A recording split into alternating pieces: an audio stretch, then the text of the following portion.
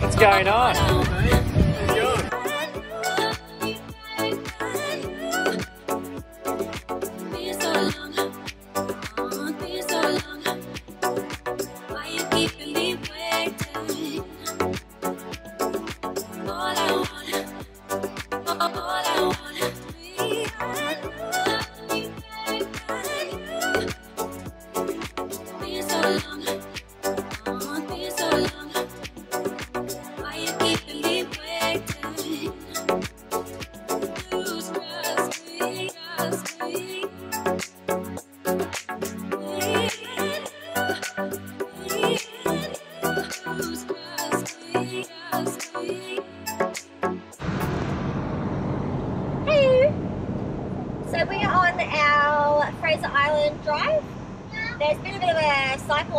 Hanging around and um, was possibly threatening our trip, but it's actually turned out to be um, pretty good. The only thing is the tides are so high we had to swap things around a bit and swap our barge times. But that's okay.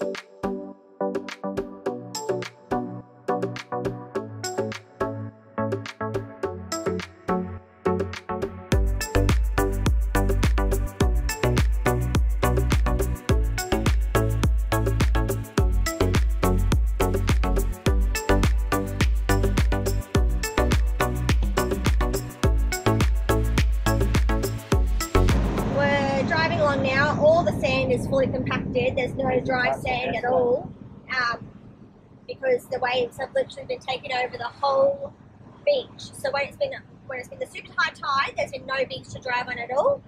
Uh, we've seen a few cool big trucks today. Now we had a little funny situation as we were um, trying to give you a better view, not just my face. Um, so as we were driving, ah no, okay, cut, Cut. cut. As we were airing down our tyres, our valves got stuck and there was just air spewing out of all our tyres. We weren't quite sure, like we couldn't figure it out. Dan was using a little special tyre poker that's called Shit, I don't know. a tyre poker. Let's just call it a tyre poker. And of all things, remover? I don't of all things, a man walked past to say hello and check out our truck. And he asked me, I was, yeah, I just said, I'm like, oh my gosh, we're trying to air down our tires, but the air is spewing out. And he asked us a couple of questions about tires. And I didn't think anything of it. And then he's like, oh, well, because I'm a tire fitter. And I'm like, oh my gosh, thank goodness. What do we do? And he was asking about whether we had um, that glass, uh, Last ball. glass balls in the tires or like the magnet weights for the tires for like your, Balancing. your balancing. And we're like, oh gosh, we don't even know. And he had a look under the tires and saw that we don't have the weight magnets on the rim. So we've got these glass balls and they throw them into your tire and they smooth themselves out. And so basically it means for the life of that tire, your wheels stay perfectly balanced and you can interchange every tire and they will always perfectly balance themselves out. But he said the problem with that is over time, we, we were saying to him that it looked like sand was blowing out when we were trying to fix them and the, the air was gushing out really quickly. And he said it's just the fragments of glass. So basically, what we want to do is every time we need to air down, we want to try and roll so all of our caps are at the top of the wheel because then it's more likely to fall out and blast a little bit of air from our compressor in to the tyre to blow out the gaps, the valves. And that way, when we put in our preset uh, tyre deflators, they won't get stuck. So that was super handy. Thank you to Tyreman. You made our day much less stressful, and at least we know now we don't need to call the tyre shop panicking, panicking about what's wrong with our wheels because they're brand new and they cost a large sum of money. But yeah, we're going to keep driving on. We're about two thirds into our trip up to our campsite, and it's oh planes. I'll show you the planes.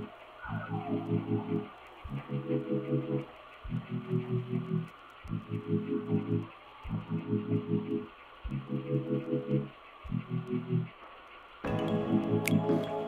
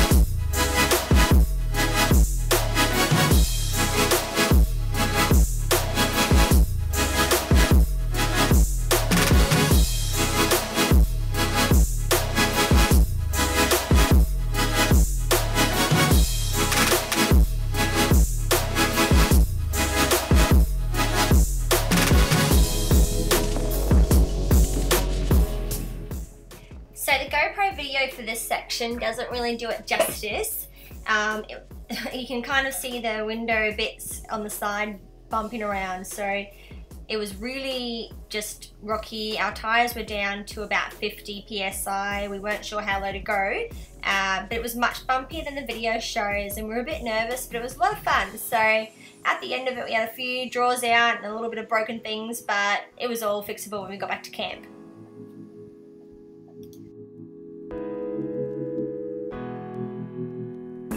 Thank you.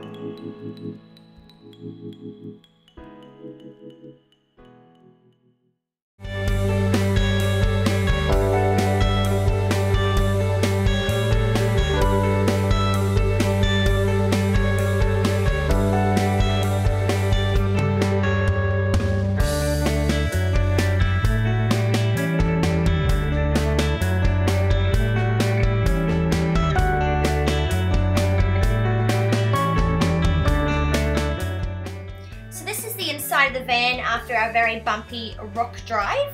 As you can see, the drawers are a bit skewed.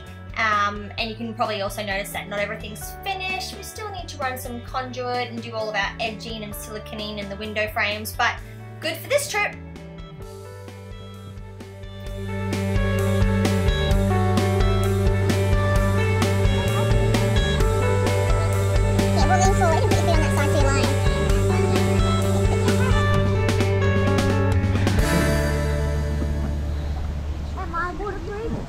Are you waterproof? Yeah. You're kind of waterproof. You don't break if you get wet.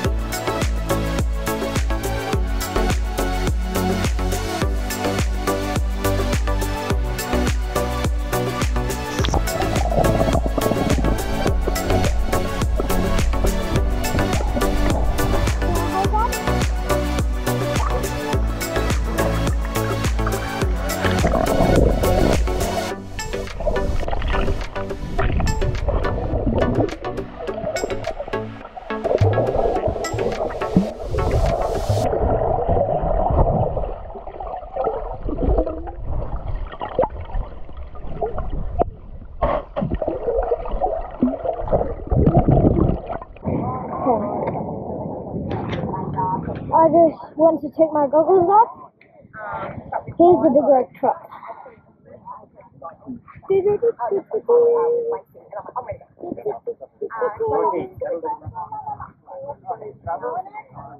I thought you must have gone home. no, I'm okay.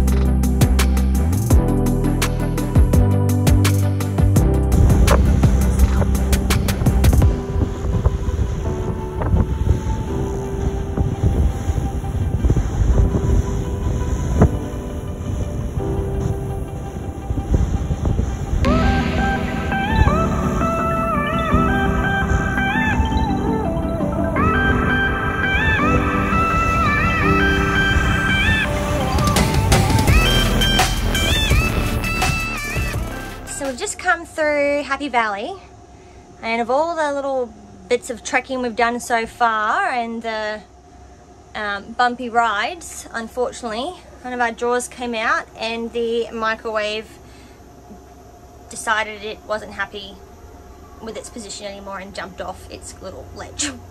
we we had brackets to screw it down and just have been distracted and forgot. So there was glass everywhere in the clothes and that drawer that it's landed on has broken but look we knew we'd have to do a bit of fixing up of the drawers We can't put it in that wheelie bin, babe. It's locked shut. uh, so yeah bit sad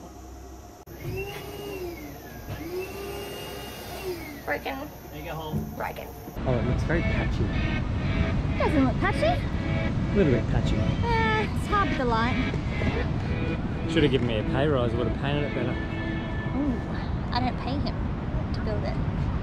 It's alright it's alright You can tell. it's doing pretty well. I've been here for 24 hours and we did the drive up here yesterday because of all the tides being crazy. Like I said earlier in our video but um, we're all set up. We've got a big group of people here